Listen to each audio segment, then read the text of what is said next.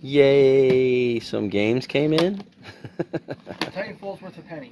yeah, no, it's it's. I sell that at a flea market for like three, four dollars. How many people This uh, these uh zero right now. I'm not live. Oh. I just make videos so I can post every day when and when possible. So that's it. That's so far. So Nothing far- good came in. Is this on? All right. Uh, this is our other pickup today. Um, this is flea market stuff. Uh, was it cheap? Not cheap enough, in my opinion, but I can make money over it, off of it over time. I will just not sell anything for too much money, you know. Um, but this is this is actually good flea market stuff. There's there's enough figures in here for me to make some money. I got to sort out the ones that are like beat to hell. Um,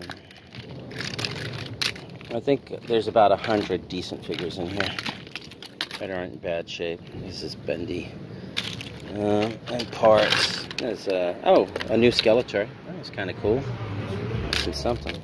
So it's random Power Ranger. There's really nothing too exciting in here, but it's good for flea market. Uh, I actually should. Oh, and I got this luggage. Let's see. I think it has. Yeah, it has wheels, handle. I can probably get 20 bucks for that, which will help. Uh, Looks like. Weird.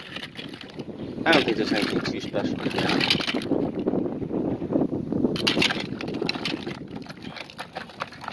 It's just flea market stuff. Alright. I'll probably take it out this weekend if I do a flea market.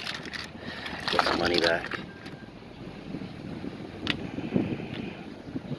Teenage Mutant Ninja Turtles. It's weird. There's a couple figures here, figures there.